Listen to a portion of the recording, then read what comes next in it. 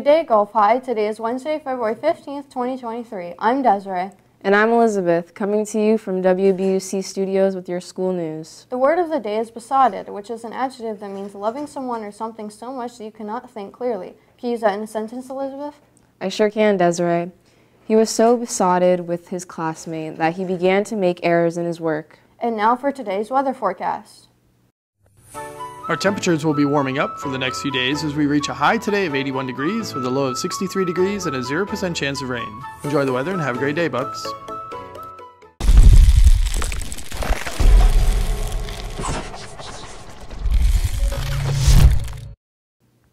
In 1898, the USS Maine explodes in Cuba's Havana Harbor. In 1953, 17-year-old Tenley Albright becomes the first female U.S. figure skater to win the world title. In 1998, Dale Earnhardt Sr. wins his first Daytona 500 NASCAR race. And in 1903, the first teddy bear goes on sale. In current news, the sole winner of November's $2 billion Powerball jackpot was announced yesterday. A soccer match in Colombia is suspended after one fan attacks another on the field, and then that fan chases his attacker across the pitch. Rescuers in Turkey are still reporting hearing voices under the rubble of fallen buildings one week after a major earthquake, earthquake hit the area. And a Polish mother who already has seven children gives birth to quintuplets in a hospital in southern Poland. Here's the joke of the day. What does the Dentist of the Year get as an award? Stay tuned to the end of the news for the answer.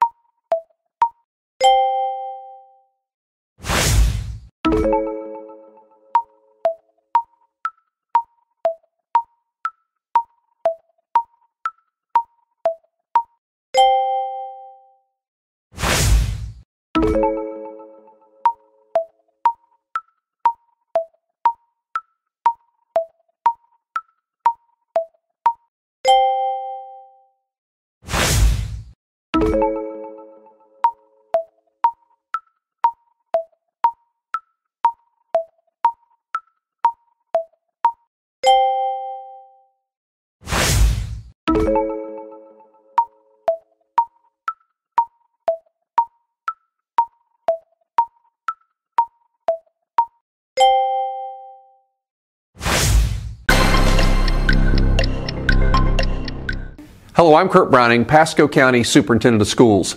In recent weeks and months, our schools have experienced a troubling number of threatening comments and anonymous threats posted on social media.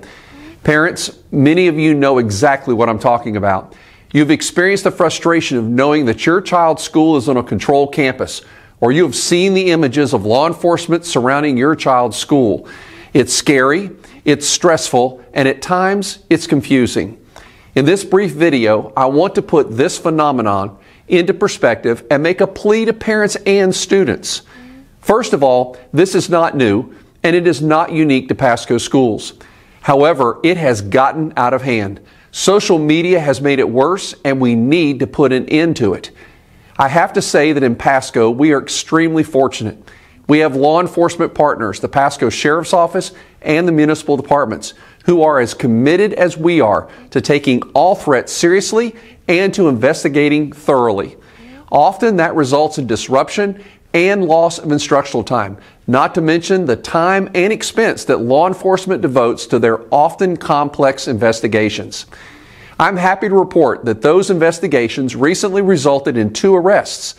Thanks to law enforcement and their sophisticated investigations, teens who thought they were anonymous and untraceable on social media soon found out otherwise.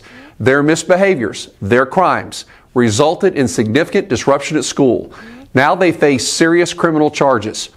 As I've said before, making anonymous social media threats is not a joke, it is a crime. That is the only appropriate way to deal with these threats, and that's how we will continue to deal with them.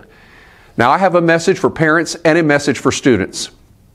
Parents, when we notify you that a threat against your student's school was a hoax or that it was unfounded, we receive two kinds of responses.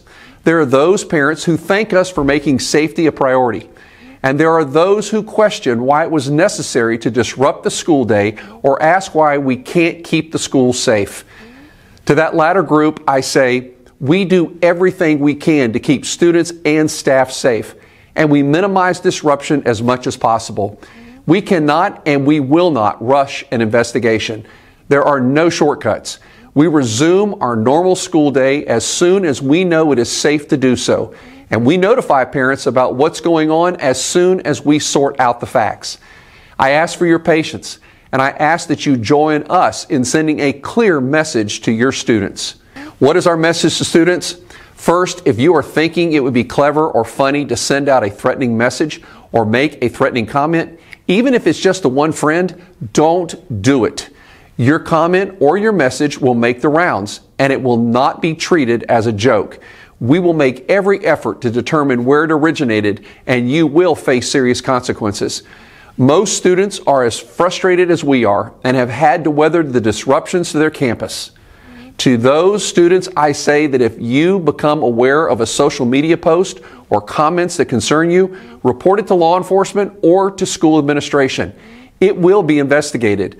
Don't spread the rumor or share it on social media. That just makes it worse. To summarize, I want parents and students to know that safety truly is our highest priority. The only way to keep our campuses safe is to take all threats seriously and to take nothing for granted. With patience and with students, parents, and law enforcement all working together, we can reduce or eliminate these threats and devote the entire school day to delivering the world class education our students deserve. Thank you. All seniors participating in graduation and senior events will need to pay the $115 senior fee. This fee is paid and collected on the Herff Jones website, and the link can be found on our GHS Facebook page and GHS website. The payment includes the cap and gown medallion, your diploma and diploma cover, the graduation venue, and the senior breakfast. And please note that cap and gowns are only available through the Herff Jones website and are included when you pay the senior fee. Seniors who are not walking at graduation need to see Ms. Diaz or Mrs. Boehner regarding your mandatory graduation fees. So, what does the Dentist of the Year get as an award? A little plaque. That's all for our news. Have, a, good National Gumdrop Day, Gulf High. Welcome to February 15th on the National Day calendar. If you've ever played the board game Candyland, you will know there is no Gumdrop King in the Gumdrop Mountains, but there was one in real life. Percy Truesdell was posthumously named the Gumdrop King for his improvement of the candy. Percy worked in the chemistry labs of Ohio State University, and it was here that he made a discovery. By adding a perfect amount of starch to the recipe, the once solid glob of sugar became a smooth, chewy confection. The original flavors of clove, allspice, cinnamon, and spearmint are not as popular today, but they do go nicely on gingerbread houses. Most people still prefer cherry, grape, orange, and lemon, and thanks to the Gumdrop King, we can celebrate National Gumdrop Day without breaking our teeth. I'm Marlo Anderson with the National Day Calendar. See you again tomorrow as we celebrate every day.